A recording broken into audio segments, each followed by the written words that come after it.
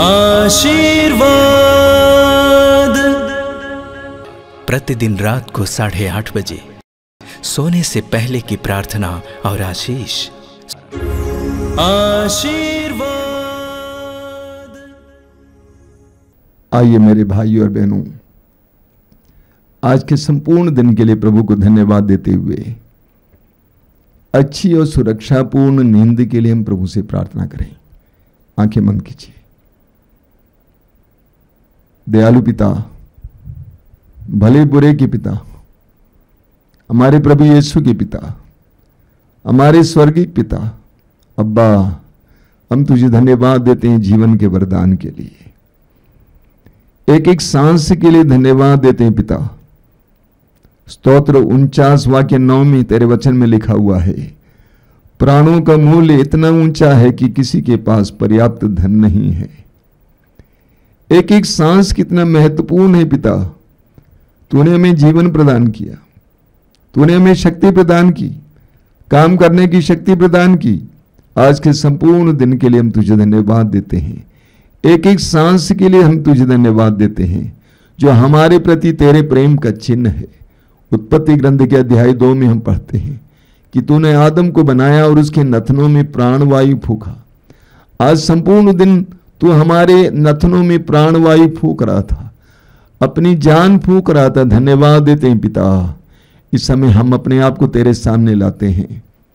हम अपनी सारी कमजोरियों के लिए, कमियों के लिए क्षमा मांगते हैं। हम इस समय स्वीकार करते हैं कि हम पापी हैं। हम तेरे वरदान के योग्य नहीं हैं।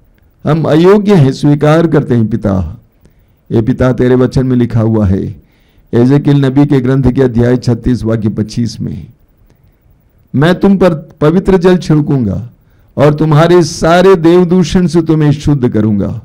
करना पिता, करना। तेरे पुत्र यीशु के नाम पर, पवित्र आत्मा के द्वारा, पवित्र जल हम पर छिड़काना पिता। हमने पाप किया है, पवित्रता के विरुद्ध पाप किया है। हमने अश्लीलता को महत्व दिया है। हम वासना के शिकार हुए हैं। हमारे मन में अंधविश्वास की बातें आई हैं, अविश्वास की बातें आई हैं, शक आई है। उन सारी बातों के लिए हम तुझसे क्षमा याचना करते हैं। ये पिता, हमने अपने वचनों के द्वारा, अपने कार्यों के द्वारा दूसरों को दुख दिया है, पीड़ा दी है, अपने परिवार के सदस्यों को दुख दिया है। हम तुझसे क्षमा याचना करते हैं। पाप के बंधन से हमें आज़ाद करना पिता। हमें आज़ाद करना, हमारी आत्माओं को स्वतंत्र करना। हम अपने आप को तुझे समर्पित करते हैं। मत्ती के समाचार के अध्याय छः वाक्य सत्ताईस में, तूने कहा, किसी बात की चिंता मत करो। तूने कहा, चिंता करने से कौन अपनी आयु को पल भर भी बढ़ा सकता है? हाँ पिता, हम अपनी सारी चिंताओं को तेरे हाथ में समर्पित करते हैं। परिवार की चिंता, बच्चों की चिंता, कामकाज की चिंता। दयालु पिता हमारी सारी चिंताओं को अपने हाथों में उठा लेना। हमारे सारी चिंताओं को अपने हाथों में उठा लेना।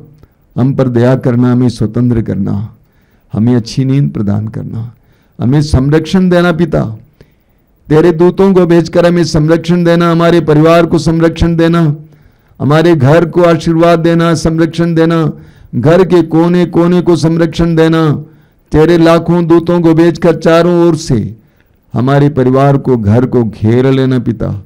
हर प्रकार की विपत्ति से हमें बचा के रखना। शैतान के हर प्रकार के खतरे से हमें बचा के रखना। हर तरह की विपत्ति से हमें बचा के रखना पिता। तेरे वचन में लिखा हुआ है, स्तोत्र इक्यानवे वाक्य चार में, वह अपने पंख फैलाकर तुम्हें ढक लेता है।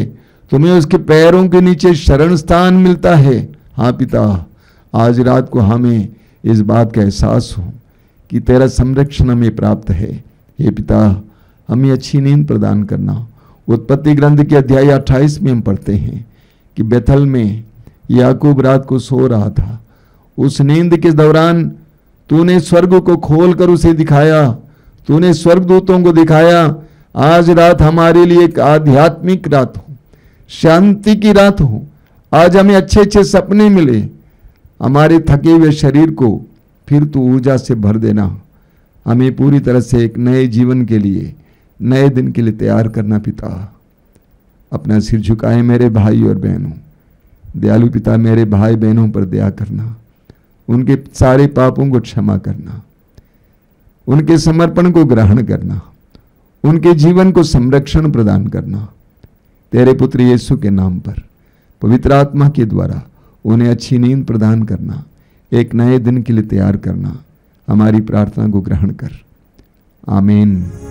आशीर्वाद।